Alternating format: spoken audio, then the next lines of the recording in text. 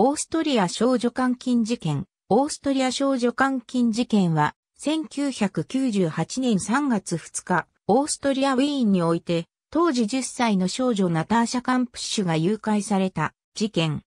ナターシャは8年間、ボルフガング・プリクロピルに監禁されていたが、2006年8月23日に男の家から脱出し、ウィーン近辺で警察に保護された。その後、男は列車飛び込みで自殺した。事件以来、ナターシャは事件の後遺症を抱えつつ、正常な生活を送ろうと努力している。2010年9月16日に監禁生活の苦悩を綴った自助伝3096デイズを出版し、自らの体験とともに警察のずさんな捜査に対する批判を綴った。2011年には次元の印税と寄付金を使ってスリランカに小児病院を建設。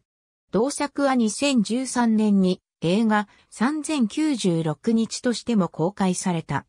日本では2020年1月15日放送のワールド極限ミステリー3時間 SP にて当事件の特集が放送された。ありがとうございます。